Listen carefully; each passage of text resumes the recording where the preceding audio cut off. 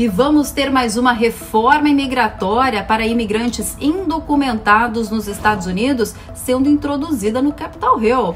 É, gente, vou trazer essa informação atualizada para vocês aqui no canal. E aí, tudo bem? Muito prazer. Eu sou a Dani Azeredo, sou jornalista e você já sabe, esse aqui é meu canal. Quer ficar bem informado? Tem que ativar o sininho. Ativa o sininho. Porque quando você ativa o sininho, você sempre vai ser notificado quando entrar um vídeo novo, uma live com especialistas em imigração. E também, se você daqui a pouco quiser saber outros tipos de conteúdo, qualquer vídeo que eu posto, você sempre vai ser notificado. Então tem que ativar o sininho. Então tem que ser um inscrito. Se você não é um inscrito ainda, se inscreva aqui no canal. É bem rapidinho, é rápido, não custa nada ser um inscrito do canal.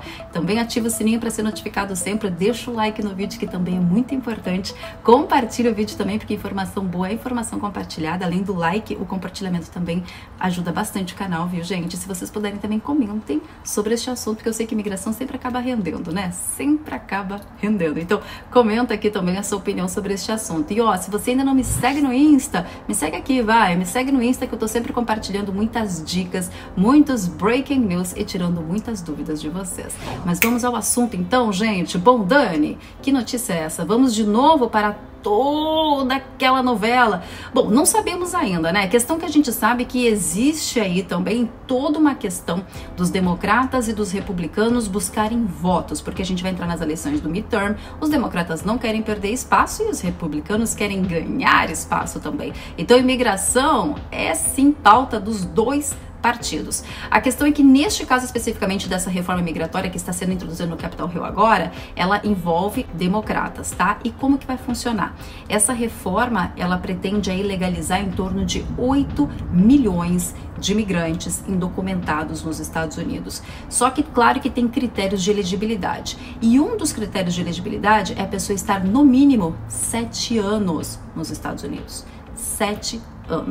Obviamente, eu já fui tentar buscar mais informações sobre essa Act. O nome da Act é Renew Immigration Provisions of the Immigration Act of 1929. Esse é o nome da Act, tá? Quando você vai buscar mais informações, não existe ainda o PDF público dela. Por quê? Porque ela vai ser introduzida essa semana. Então a gente só tem de fato todo o texto da Act quando eles de fato introduzem no Capitol Hill. Aí fica disponível para o público. E claro que quando ficar disponível, a gente vai fazer o que a gente sempre faz aqui no canal, que é pegar a Act olhar todos os detalhes dela, discutir sobre isso. Lembrando, a gente sempre faz isso aqui é um canal informativo, isso é bem importante explicar, porque o meu canal justamente a gente aborda todas as atualizações. Tem reformas imigratórias sendo introduzidas no Capitol Hill, a gente vai abordar aqui no canal. Tem reformas sendo aprovadas em fases diferentes no Capitol Hill, a gente também vai abordar aqui no canal. O canal é informativo, gente. Eu como jornalista, eu tô sempre aqui tentando atualizar todo mundo sobre tudo o que acontece. E quando tem reformas importantes sendo introduzidas, elas sempre vão ganhar destaque aqui no canal também, como essa Act especificamente, tá? Dani, como que vai funcionar então? Isso vai valer, é tipo aquela lei do registro? Tipo isso. Lembra que lá em 2021 era um dos planos dos democratas dentro da reconciliação orçamentária, era a questão da lei do registro? Acontece que naquela época, muitas organizações pró-imigrantes que estavam fazendo trabalho de consultoria junto aos congressistas da época que estavam tentando ver formas de conseguir colocar a imigração dentro da reconciliação orçamentária, muitos estavam pedindo então que não fosse introduzido de fato a lei do registro, mas sim que fosse dado aí uma liberdade condicional e uma certa proteção para os imigrantes em deportação. Claro que isso na época, né, alguns congressistas ficaram contra. Não, vamos com a, com a do registro, vamos modificar a questão do registro. Mas muitos falam, não, eu acho que vai ser muito melhor se a gente for com uma liberdade condicional de imigrantes e principalmente a questão de proteção contra a deportação de certos imigrantes também, porque daí a Elizabeth McDonough, na hora de analisar, pode enxergar isso com bons olhos. A questão é que ela não enxergou com bons olhos. Lembra que ela negou todos os planos que os democratas apresentaram? E aí a questão do, da lei do registro ficou um pouco de lado porque eles queriam dar uma modificada nisso. A questão é que eles estão fazendo o quê?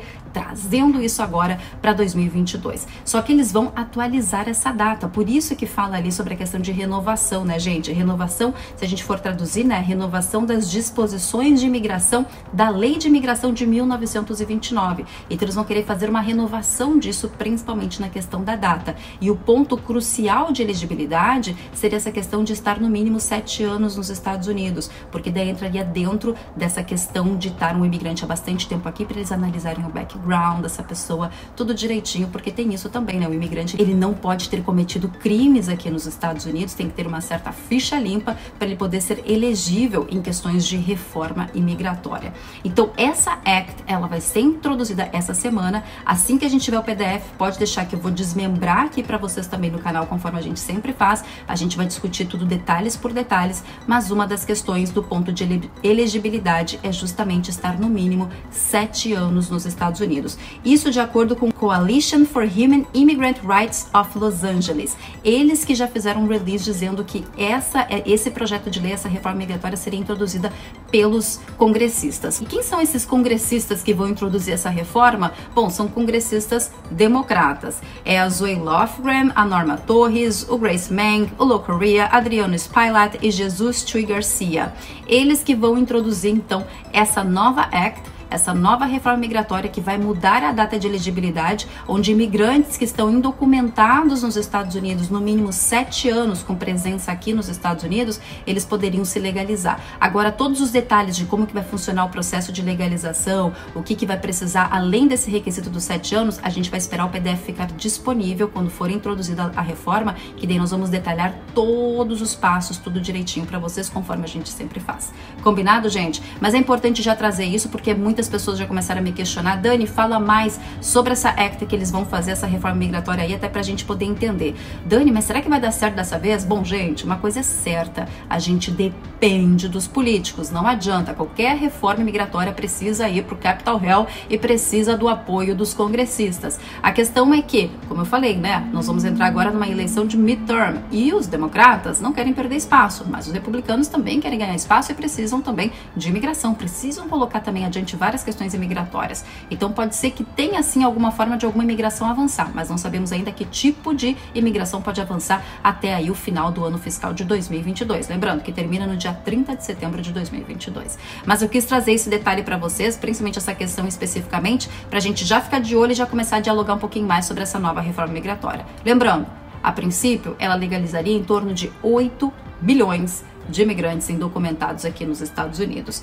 Enfim, gente, a gente vai discutir mais sobre isso também. É importante a gente falar sobre essas questões, até porque envolve aí o sonho de muitos imigrantes que estão aguardando há bastante tempo por uma reforma. Lembrando que reformas anteriores, né, já aconteceram também em função da lei do registro, que teve datas alteradas, então eles podem fazer essa alteração de data, mas a gente sabe, depende do apoio dos congressistas. É hora de pressionar novamente, principalmente eles sabem que agora ele é a última chance de muitos congressistas conseguirem se reeleger, porque a gente tem tem essas eleições do midterms logo mais. Enfim, a gente tá, ó, de olho e assim que eu tiver mais informações, pode deixar que eu vou trazer, ó, tintim por tintim, detalhadamente aqui no canal. Se você já gostou dessa informação, já deixa o like, viu? Deixa o like no vídeo que você ajuda demais a Dani. Não deixa o like, deixa o like aí. Deixa o like no vídeo, deixa o seu comentário. Você acha que agora vai? Você acha que agora vai uma reforma migratória? Será que eles realmente vão avançar com alguma questão de imigração, já que as eleições do midterm estão se aproximando? Quero saber sua opinião sobre este assunto. Compartilhe o vídeo também, porque informação boa informação compartilhada. Se você não é um inscrito do canal, se inscreva no canal, ativa o sininho também